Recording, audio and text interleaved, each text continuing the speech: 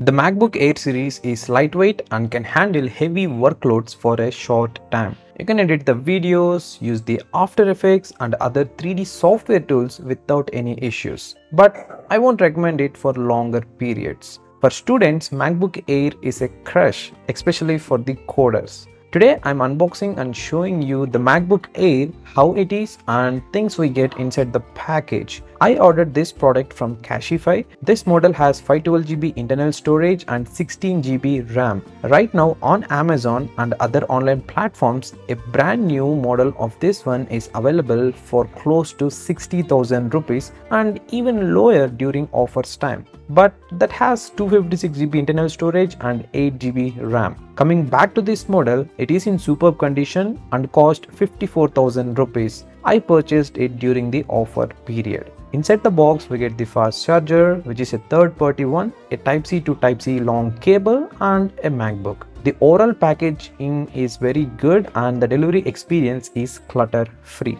The battery health of this MacBook Air is 100% and it is working fine without any issues. I'm using this one for a couple of months and I have never experienced any issues with this. Talking about the offers, during Black Friday or Independence Day, the sales are good.